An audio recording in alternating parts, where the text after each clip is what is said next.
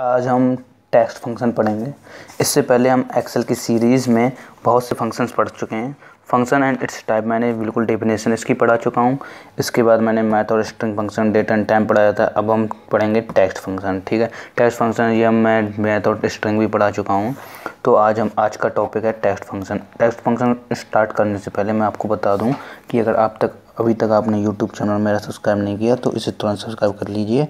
क्योंकि रीज़न क्या है? अगर आप ओ लेवल कर रहे हैं या कंप्यूटर से रिलेटेड किसी भी कोर्स की तैयारी कर रहे हैं तो उस, उसके लिए मैंने सारे वीडियोस हिंदी में आपके लिए बनाए हैं। बिल्कुल बेसिक से आपको सारे वीडियोस देखने चाहिए एक बार। बिल्कुल बेसिक से हैं तो सबसे पहले टेक्स्ट फ़ंक्शन स्टार्ट करते हैं। इस फ़ंक्शन का उपयोग हम टेस्ट के लिए किया जाता है, इसलिए इन्हें टेक्स्ट फ़ंक्शन कहा जाता है। यह निम्न प्रकार के होते हैं। तो अपर केस के लिए क्या करते हैं? यह फ़ंक्शन लोअर केस के अक्षरों को बड़े अक्षर में बदल देता है, ठीक है? डेफिनेशन भी मैं पढ़ाऊँगा और फार्मूलाज भी बताऊँगा। बिल्कुल बेसिक से ही है, सब अपर इजकल टू सिंटेक्स कैसा होता है, ऐसा होता है। अपर में क्या करते हैं? ये देखिए स्मॉल लेटर लिखे हुए हैं ना सारे। इसे इन्वर्टेड कॉमा में ऐसे लिखते हैं। ठीक है, उसके बाद क्या करते हैं? जैसे ही इंटर दबाते हैं तो ये कैपिटल लेटर में हो जाते हैं सारे। ये मैंने एक्सेल सीट में ऐसे लिखा, फिर मैंने इंटर दबाया तो ये कैपिटल लेटर में हो गए। फिर आता है लोअर केस लोअर केस में क्या होता है कि लोअर केस में क्या होता है कि जब हम यह फ़ंक्शन अपर केस के अक्षर को लोअर केस में, अक्षर में बदलता है, इसमें क्या करते हैं सिंटेक्स का तो ऐसा होता है equal to lower text and example lower A K A S H मैंने अपना नाम लिखा। इसे फिर जैसे हम इंटर दबाएँगे, ये स्मॉल लेटर में सारे अक्षर दिखा देगा। प्रॉपर क्या होता है, ये फ़ंक्शन टेस्ट को प्रॉपर केस में सेट करता है। जैसे मुझे कोई फ़ंक्शन को प्रॉपर सेट में क्या होता है, आपको पता ही है।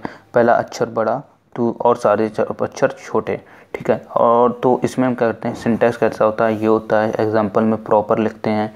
फिर मैंने ये लिखा साइबर डेयरी सॉल्यूशन तो ये क्या गया इसका? इसका रिज़ल्ट जो हम यहाँ पर इंटर दबाएँगे एक्सेल सीट में, इसको लिखने के बाद इंटर जैसे ही दबाते हैं तो हमारा क्या आएगा? साइबर डेयरी सॉल्यूशन ऐसा आएगा पहला कैपिटल और सारे स्मॉल ठीक है तो ये हमारा हो गया प्रॉपर के लिए अब लेंथ के लिए क्या होता है? लेंथ हमें किसी अक्षरों की निकालनी होती है। कभी कभी बड़ी बड़ी कंपनियों में ये यूज़ होता है। तो इसमें क्या होता है? ये फ़ंक्शन टेक्स्ट के अक्षर गिनता है। यह syntax L E N text लिखा।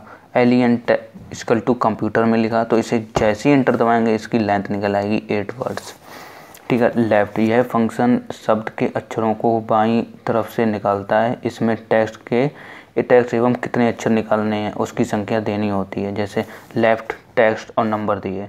लेफ़्ट कंप्यूटर लिखा। अब हमने इसमें से निकालना कि हमें लेफ़्ट से कंप्यूटर के कितने अक्षर निकालने हैं, उतनी संख्या देने हैं। जैसे हमें तीन निकालने हैं तो यहाँ पर इसने रिज़ल्ट दिया तीन।